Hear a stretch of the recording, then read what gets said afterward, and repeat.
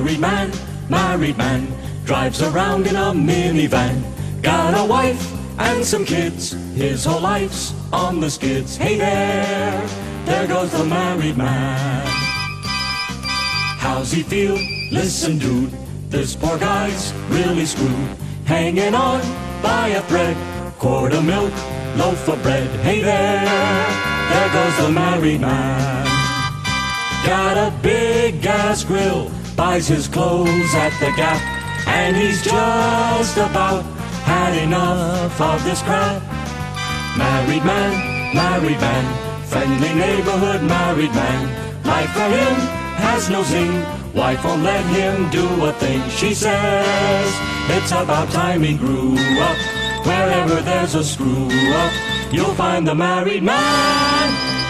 As our story opens, married man is making a stop at his friendly neighborhood convenience store when he runs into his old pal, college buddy. Hey, married man, how's it hanging? How's uh, what hanging? I mean, how's it going? Oh, uh, fine. How are you? Hey, didn't expect to see you out running around on Mother's Day Sunday. Oh, just picking up a few things. Let's see here. Fuses, friction tape. Oh, a chapstick. I need that. Wife sent you out to get tampons, huh? Yeah, where are those anyway? Uh, right over there between the cat food and the disposable diapers. Thanks, buddy.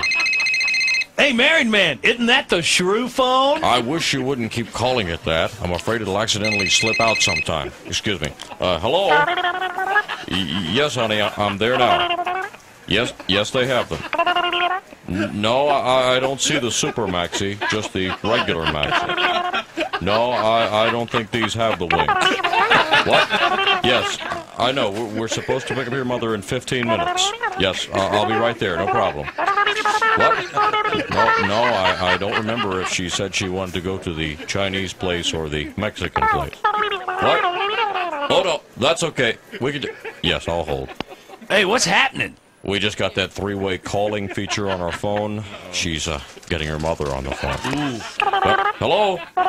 Yeah, yes, I'm still here. Okay. She she's putting her on. Hello? Hello, Mother Fletcher. I'm fine. How are you? Oh, that's a shame. Well, try not to scratch it. Yes, honey, I can hear her fine. What? Well, actually, Mother Fletcher, the, the Chinese and the Mexican are, are both really in the same price range. No, I, I, offhand, I don't know if they use MSG at the Chinese place. Yes, I, I know. It, it makes you go to sleep. What's that? The the Mexican sometimes gives you gas. No, I, I wouldn't want that either. Yes, it, it, it is kind of a difficult choice. Listen, I'm on the sure, I mean the mobile phone right now. Uh, let me hang up and uh, you two can talk it over. No, I, I I don't think it'll break the connection. Let, let's let's give let's just give it a try. How would that be? Yeah. Yes, honey, I'm going to the checkout right now. I'll be home in five minutes. Okay. What's that, Mother Fletcher? Yes, I'm right beside the candy counter. One of those Reese's peanut butter eggs? I believe they only sell those at Easter, Mother Fletcher.